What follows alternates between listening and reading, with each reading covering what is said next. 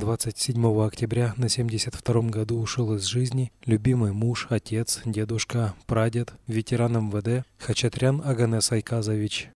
Прощание с телом состоится 31 октября с 12 до 13 часов в прощальном зале «Ритуал» автостанция. Поминальный обед в ресторане «Арарат» в 14 часов.